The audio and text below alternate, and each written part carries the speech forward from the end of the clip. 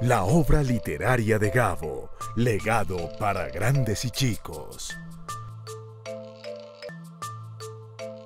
Raúl, esta es la obra magistral de García Márquez que le dejó como ganador del Premio Nobel de Literatura. Se trata de 100 años de soledad.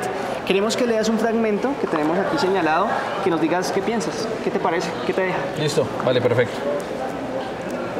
Primero llevaron el imán, un gitano corpulento, de barba montaraz y manos de gorrión, que se presentó con el nombre de Melquiades, hizo una truculenta demostración pública de lo que él mismo llamaba la octava maravilla de los sabios alquimistas de Macedonia.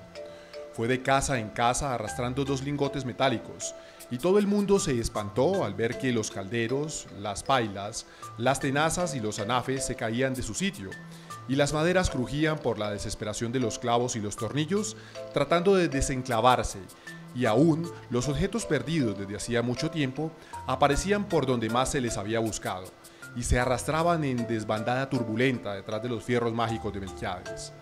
Las cosas tienen vida propia, pregonaba el gitano con áspero acento. Todo es cuestión de despertarles el ánima. Listo. ¿Qué te deja Gabo en estas líneas, Raúl? Bueno, pues nos habla de la modernidad y también es una crítica, pero más allá de eso nos habla de explicaciones que antes no se concebían a través de la ciencia.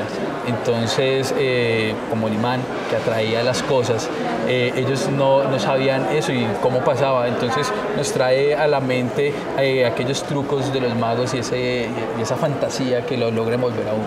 Pues precisamente es el realismo mágico de Gabo que lo inmortaliza siempre en sus obras. 100 años de soledad, 1967. Gabo, siempre te recordaremos. Canal Capital, televisión más humana.